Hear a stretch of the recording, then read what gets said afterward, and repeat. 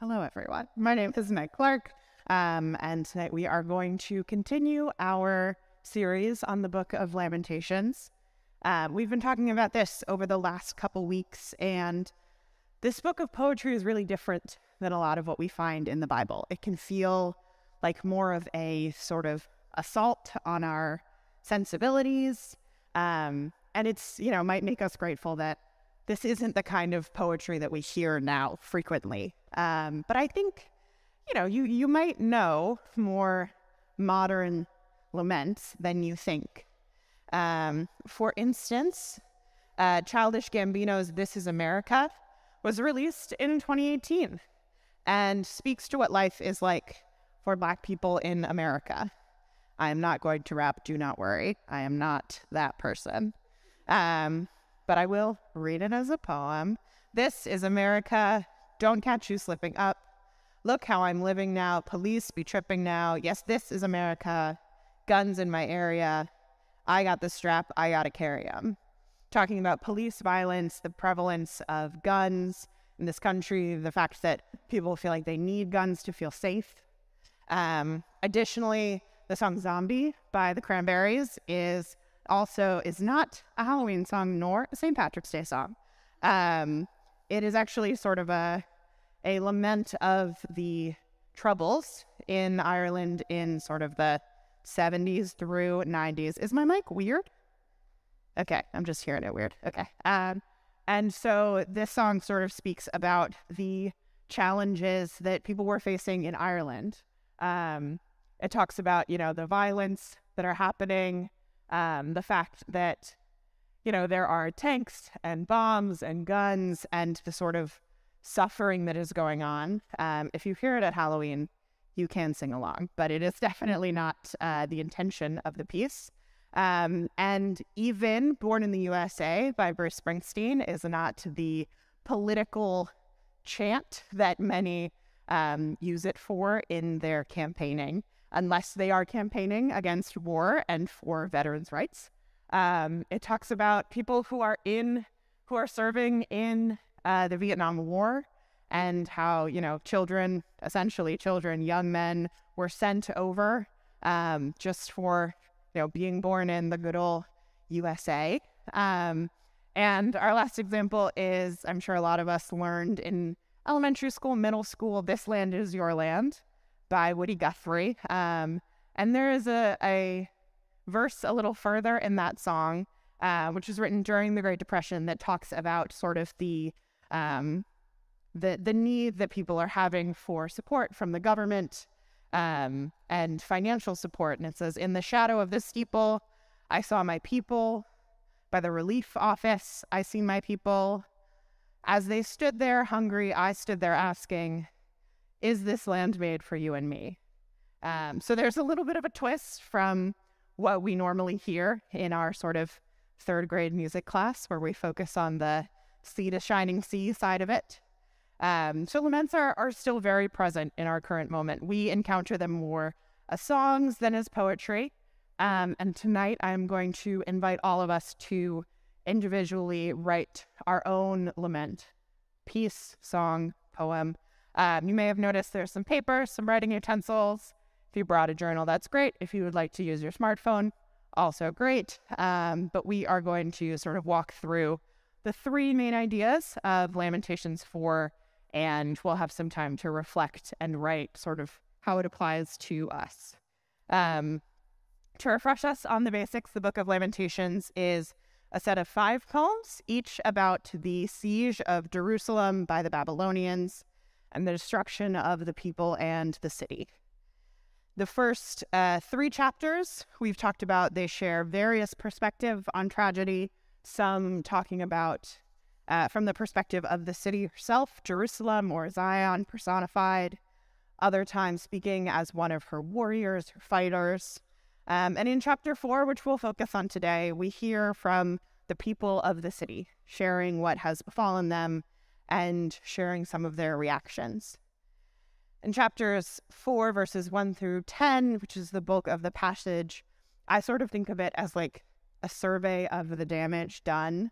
And when reading it, you can almost sort of imagine a camera shot going through the streets almost like a, a director's first take of us through a city. Children are begging for bread. The priests who used to be, the princes who used to be the most glamorous are now malnourished. And it talks of the cruelty that desperate mothers enact on their children. Starting with verse 4, it says, Because of the thirst, the infant's tongue sticks to the roof of its mouth. The children beg for bread, but no one gives it to them. Those who once ate delicacies are destitute in the streets. Those brought up in royal purple now lie on ash heaps. The punishment of my people is greater than that of Sodom, which was overthrown in a moment, without a hand turned to help her. Princes were brighter than snow and whiter than milk. Their bodies more ruddy than rubies, their appearance like lapis lazuli. But now they are blacker than soot. They are not recognized in the streets. Their skin has become shriveled on their bones, and it has become dry as a stick. These verses share how desolate Jerusalem is by contrasting to what they would think of as before times.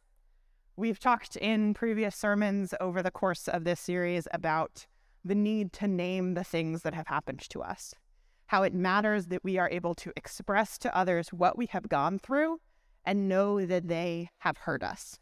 And this is what is happening in this section of chapter four.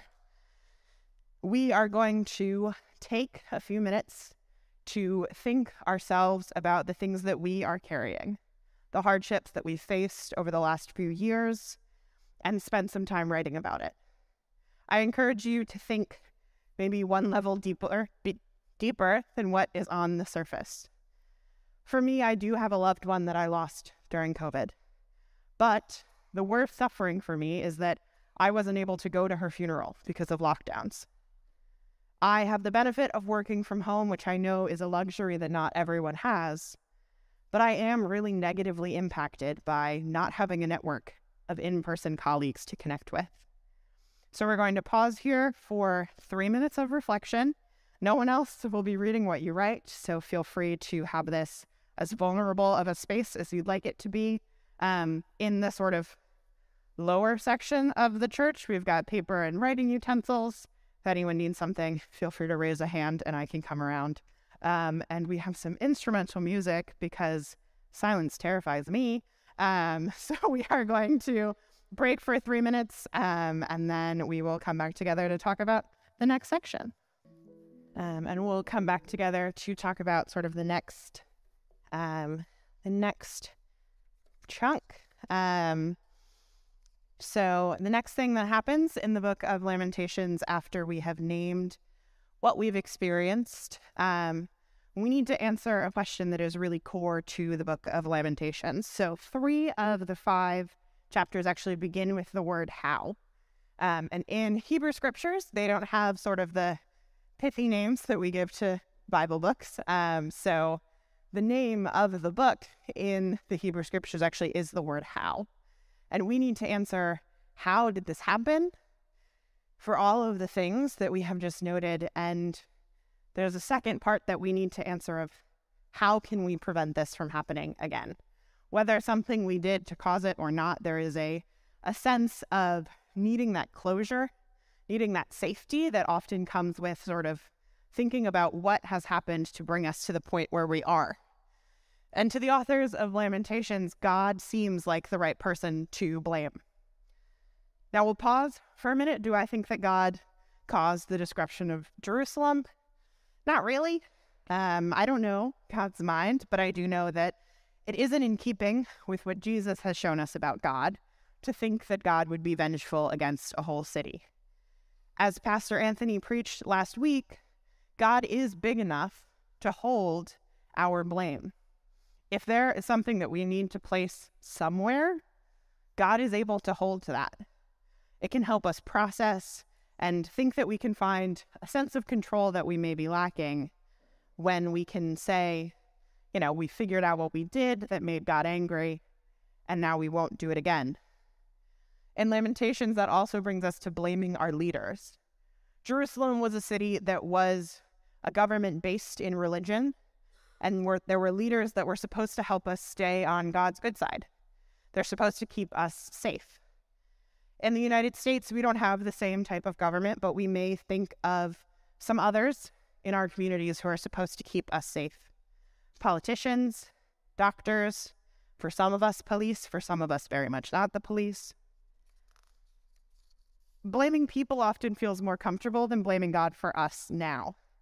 And even when we're blaming God, we're usually blaming ourselves for not doing something that God told us to do. Here's what we find in Lamentations 4, starting with verse 11. The Lord has given full vent to his wrath. He has poured out his fierce anger.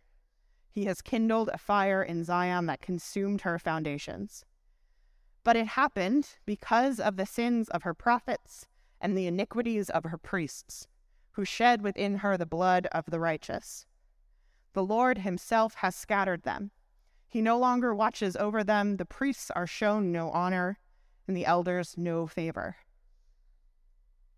For this next prompt, we will take a couple minutes to reflect on who you might be blaming or who you might need to blame for some of the things that have happened over the last few years that you noted. Politicians are still investing the COVID 19 virus because it's really hard to blame interaction between animals and humans as the reason because we can't fully prevent that. There's this need to find something we can control. For me, I blame politicians who lifted lockdowns and mask mandates too early. And I blame them for a huge number of those who died during the pandemic. I blame the police for the murders of George Floyd and Breonna Taylor. I blame myself for not being more politically active in breaking down systems of oppression and I think somewhere in all of this, I do blame God a little bit for not preventing the tragedies that we've been drowning in for the last few years. It brings up a hard challenge for me of a supreme good God with all of these things that are hard in the world. So, again, we're going to take a little bit of time to write out where you may be placing the blame. Again, we'll have some prompts up on the screen. Um, feel free to, you know, whatever feels safe and comfortable, um, sort of let that, invite you to let that uh, out onto your paper or phone or mental notes. Sweet factory of Great. And we'll come back and talk about our last section. Um, there's a pivot at the end of Lamentations 4, and unsurprisingly, as with the rest of the book, it is a little bit challenging. The most well known hope passage in the book is Lamentations 3. God's compassions never fail. They are new every morning. Great is your faithfulness. This is like capital H hope. This is doctrine. This is God. This is who God is. But there is hope in the end of chapter 4. In verse 22, the poet says, Your punishment will end, daughter Zion. God will not prolong your exile. And while that might not feel as strong as God's mercies being new every morning, I find immense comfort in the idea that something challenging will be over soon. As we talked about in some of the songs that we sung earlier today and in the, the prayer that Antonio read, we just need to hold on a little bit longer. At the beginning of the pandemic, when my small group would ask for prayers, I would always ask for endurance I knew as someone who lives with depression, who lives by myself, the pandemic was going to be really hard and the amount of isolation was going to be pretty pretty challenging for me. And so my word was always endurance. And there is something in this verse that says, you know, I've I've never run a marathon, though I'm sure you're all surprised. Um, that the finish line is close. You know, we are we are coming towards it. But this verse is surrounded by something pretty hard to wrap our heads around. In coping with their own pain, the poet condemns the Edomites, who are a neighboring people group, often in conflict with Israel. The poet warns that they will soon face the same wrath of God. In verse 21, the poet says, Rejoice and be glad, daughter Edom, you who live in the land of Uz. But to you the cup will also be passed. You will be drunk and stripped naked. Your punishment will end, daughter Zion. He will not prolong your exile, but he will punish your sin, daughter Edom, and expose your wickedness. There's something in this that also points to human nature. When we suffer, there could be a part of us that wants to see our enemies suffer too. It happens. I have people that I don't particularly like in my heart, and you know, sometimes it might feel like a, a twisted form of justice if something bad were to happen to them. But this is something, as Jesus teaches, that is a, is a call to work on, to love our enemies as much as we love ourselves and our neighbors. I need to see my suffering and remember the cliche I wouldn't wish this upon my worst enemy. Because really, I wouldn't. I don't want other people to suffer the same thing that I personally have gone through. And I know that if they did, wouldn't necessarily make me feel any better. So rather than focusing on who we are hoping to see suffer for this last prompt, I'd like to invite us to reflect on where we are finding hope. If you're not feeling particularly hopeful, um, I'd like to give you a quote from one of my favorite current poets and an amazing Twitter follow Jessica Kantrowitz. Jessica talks openly about her own depression and chronic migraines, and she frequently tweet- tweets out the same phrase You are not alone, and this will not last forever. Every time I see it, no matter what I am going through, it provides a breath, even if only for a moment, a moment of hope.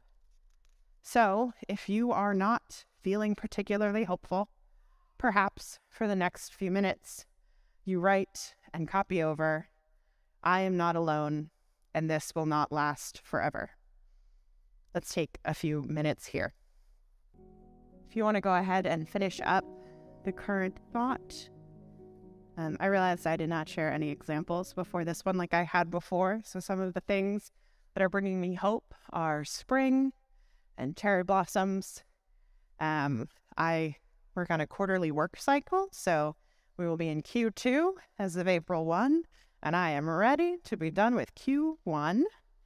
Um, my older sister is expecting, and so I will have my first nephew in June. And I did write a couple of times. I am not alone, and this will not last forever. To close, there's one more recent lament that I want to share before we head out, and it is a bit of a shift from the ones that I've shared before. In the critically acclaimed masterpiece, Frozen 2, there is, and, and see, I told you there were not a lot of jokes, so save it for the end. Um, there is a song that details depression in a way that I have never experienced in another piece. I really like that Disney has committed to like we're making movies for adults with trauma that their kids might like. Um, so in Frozen 2, we'll set we'll set the stage for you. Anna, she is the one with orange hair, if you have seen images. She is the younger sister.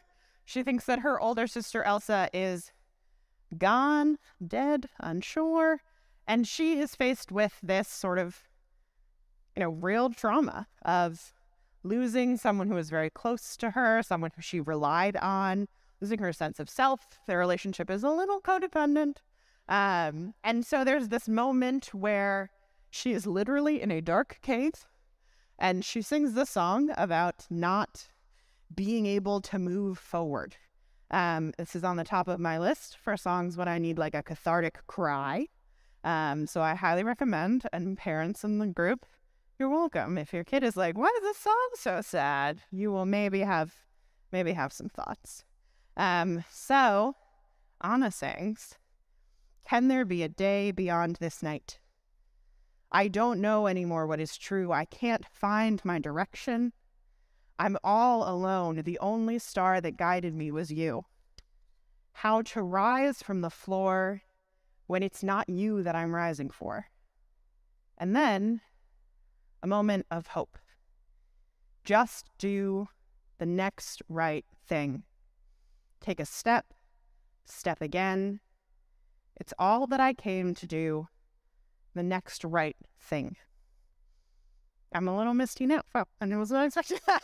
In this children's song, there is a powerful message for those of us facing difficult times. When you don't know what the future holds, what your next move is, just take the next step. It reminds me of the famous quote from Dr. Martin Luther King Jr. Faith is taking the first step, even when you don't see the whole staircase. I hope that no matter what you've written down today, about what you've gone through, who you are blaming, and what you're hoping for, you are able to find the strength, the courage, and the faith to do the next right thing. I know this was a little bit more emotional and participatory than we normally do. Um, so if there is anyone who would like prayer, I will be in the lobby after service. Um, I'd be happy to chat, pray with you, hold some of what um, what might have come up for you.